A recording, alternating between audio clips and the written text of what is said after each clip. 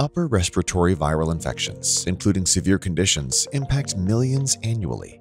This animation explores the results of a major randomized clinical trial investigating the Vielight RX Plus, a Health Canada approved medical device designed to accelerate recovery from moderate to severe upper respiratory viral symptoms. Photobiomodulation uses red and near infrared light to influence cellular processes. The RX Plus targets the nasal cavity and chest with two patented components a red light intranasal applicator and a VLED positioned on the sternum to deliver therapeutic light directly to affected areas. This light interacts with the mitochondrial electron transport chain, enhancing immune responses and releasing nitric oxide, which inhibits viral replication and improves blood flow. This device has identical specifications with the Vielight X Plus 4. A randomized clinical trial evaluated the RX Plus with 267 participants. Patients were randomly assigned to either a treatment group, which used the RX Plus alongside standard care, or a control group receiving standard care alone. Recovery was measured using the Wisconsin Upper Respiratory Symptom Survey, WURSS 44, a globally validated questionnaire assessing symptom severity.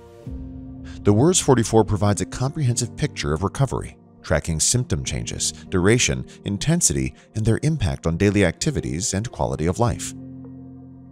Patients using the RX Plus recovered three days faster on average in the 0 to 7 day range versus the non treatment group, which is statistically significant. Secondary measures of significant improvements were observed in symptoms like sinus pain, chest congestion, and headaches versus the non treatment group. Importantly, in the non treatment group, three patients required ICU admission, and two of them unfortunately died, compared to none in the treatment group. The RX Plus enhances immune function by increasing T cell production and reducing inflammation.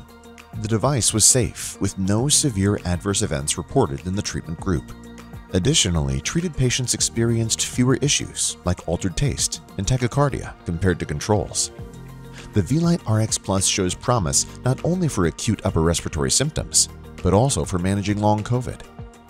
Its ability to improve symptom clarity and reduce inflammation offers hope for those experiencing lingering effects.